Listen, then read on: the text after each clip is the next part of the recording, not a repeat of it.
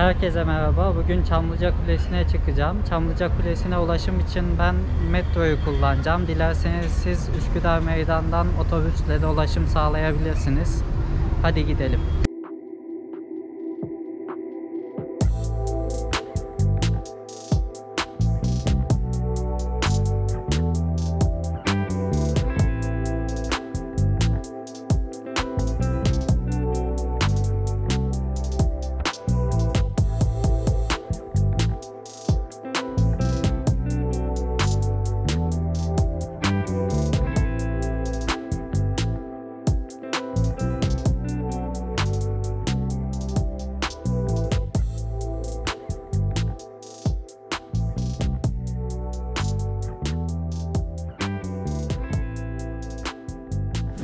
Gelirken yol üzerinde aynı zamanda Küçük Çamlıca Korusu'ndan geçiyorsunuz. Küçük Çamlıca Korusu da e, güzel vakit geçirebileceğiniz bir yer. Saatin biraz ilerlemesini bekliyorum. Gün batımına yakın çıkacağım kuleye. Bu arada kule hakkında size biraz bilgi vereyim. Kulenin yüksekliği 369 metre. Kulede seyir terası ve restoran bulunmakta. Kuleye çıkış ücretli. Ücretlere içeride değineceğim. Aynı zamanda restoran için internet sitesinden rezervasyon yapmanız gerekiyor. Kulenin internet sitesini açıklamalar kısmına bırakacağım. Oradan kontrol edebilirsiniz.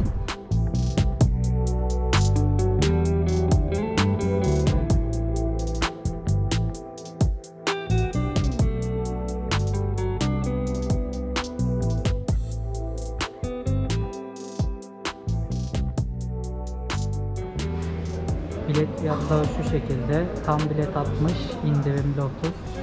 Yabancılar için 120 lira, hızlı geçiş Türkler için 100 lira, yabancılar için 200 lira. Merhaba, eee, ben rezervasyon yapmıştım. Restoran için mi? Evet, restoran Kaç taraf için. Aynı zamanda şeye de çıkabiliyorum Seyir terası terasına. Önce restorandaki yeme içme şeyinden sonra tabii ki aşağı indiriyor arkadaşlar. Tamam, teşekkür ederim.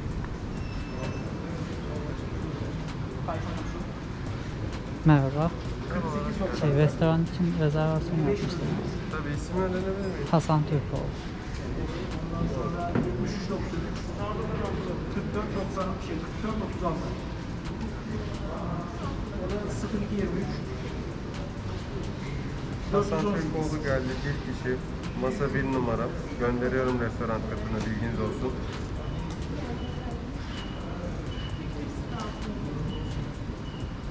İnternetten ödeyince sanırım danışmada iade mi ne ediliyor diye yazıyor. Öğrenci Evet. kartınızı görebilir miyiz?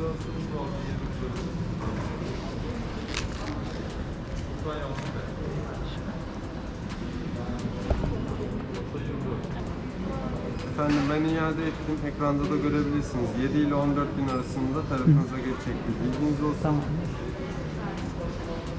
Aşağı katta aynı masa. Yani e, aynı. Buyurun efendim. Bu taraftan yardımcı. Zaten ben. Doluydu. Yarım saat sonra tekrar döndünüz. Bir anda bir şey Buyurun, Bu taraftan. Çıkışımız şu anda bir, bir asansörden olacak. Kısıklı tarafından panoramik asansör değil. İnişiniz de Çamlıca tarafındaki panoramik asansörden olacak. Bilginiz olsun.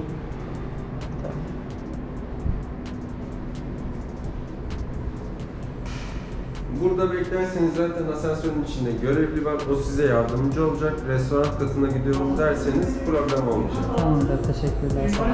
Şimdiden afiyet olsun.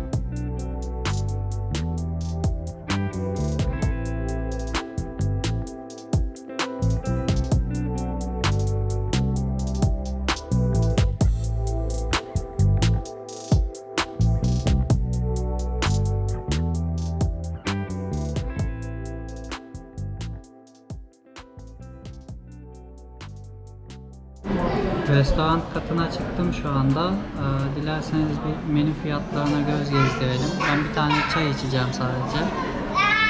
Fiyatlar malum biraz pahalı.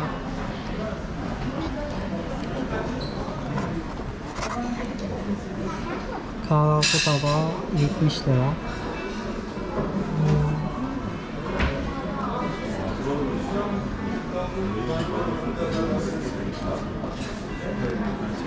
Teşekkürler. Şeker kullanıyor musunuz? Yok teşekkür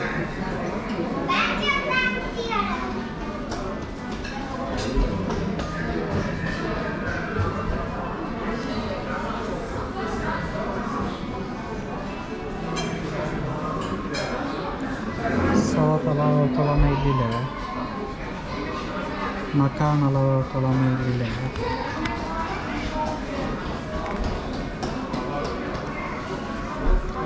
...150 gram bir hamburger 42 lira. Aslında gayet uygun. Pizzalar 56-57 lira.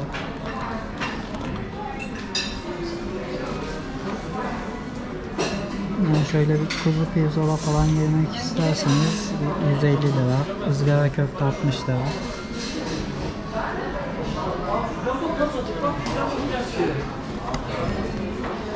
Tatlılar sütlaç 32 lira.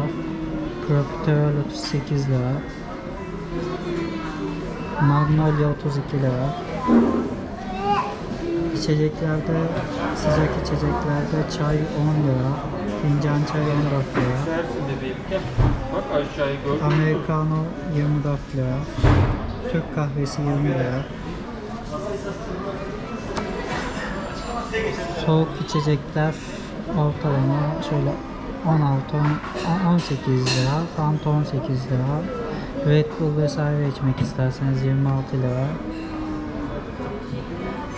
Maden suları 14-15 lira. Portakal suyu içmek isterseniz 30 lira.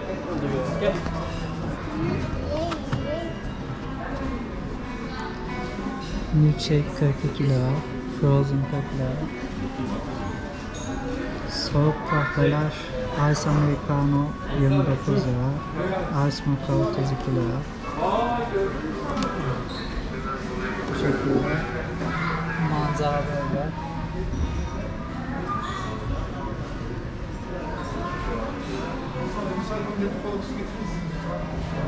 Çayımız geldi.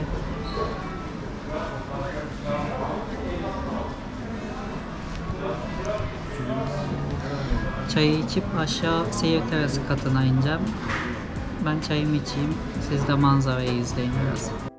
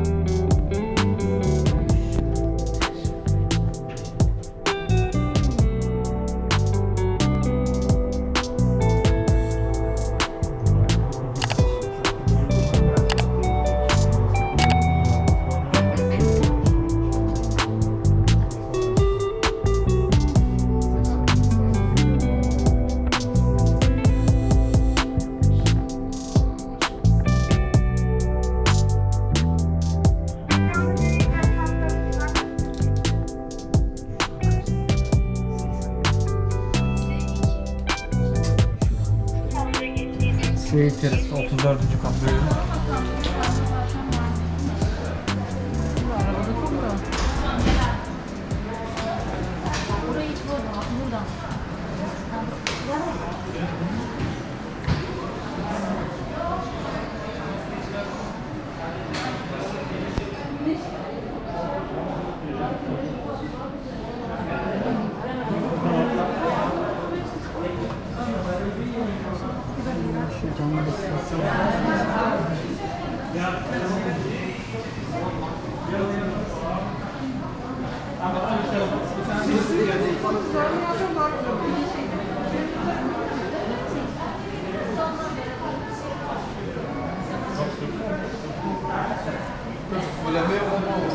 Dördüncü kat seyir terası 39 rakı restoran Bunun tam bir üstünde oturdum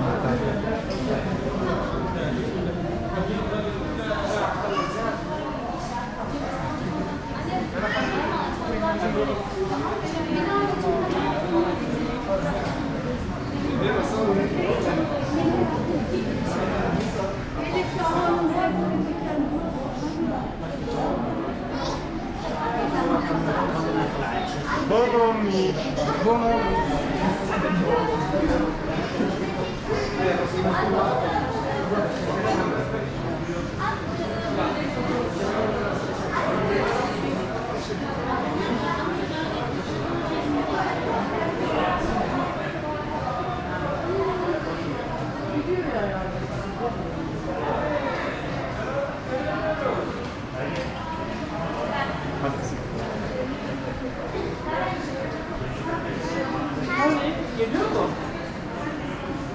yukarıda.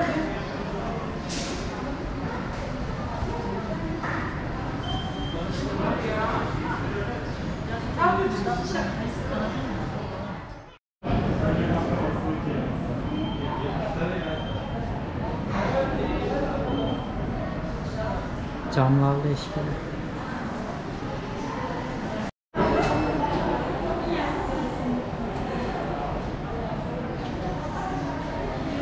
Buradan kulenin belirli yerlere olan uzaklığını ve yerlerle alakalı bilgileri görebiliyoruz. Mesela Topkapı Sarayı'na 6219 metreyken Galata Kulesi'ne 7955 metre veya Anadolu yakasında Beylerbeyi Sarayı'na 3268 metre. Böyle karşıya geçelim bir. Dolmabahçe'ye 5413 metre. Bilgiler de şu şekilde kısa bir bilgi olarak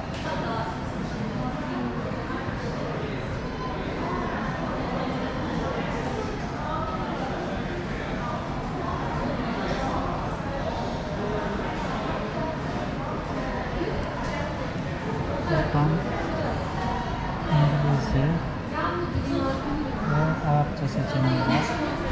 Üç dil.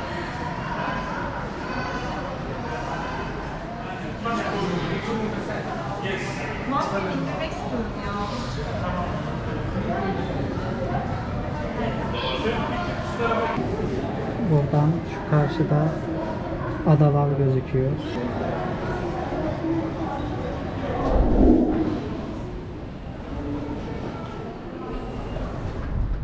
Kuleden çıktım. Ee, ilk olarak restoran katına çıktım. Restoran katında bir çay içtikten sonra aşağı seyir terasına inmek istedim. Fakat e, seyir terası restoranla ayrı olduğu için ek bir ücret ödemek gerekiyormuş. Bu aklınızda bulunsun bir dahaki sefere. Ben rica ettim.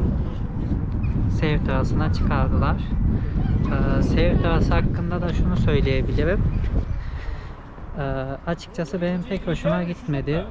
Yani güzel sağ sol gözüküyor da e, Çamlıca bölgesi dışında ağaçlık alan yok İstanbul'da doğru düzgün. Beton manzarası izliyorsunuz biraz. Yer yer güzel manzaralar var fakat benim hoşuma gitmedi.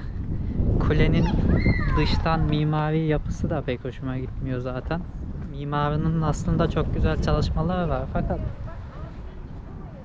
bu kuleyi yaparken artık ne düşündüyse bilemiyorum. Şöyle bir yapı. Neyse eve doğru yol alıyorum. Kanala abone olup yorum yapıp videoyu beğenmeyi unutmayın. Hoşça kalın. Kendinize iyi bakın.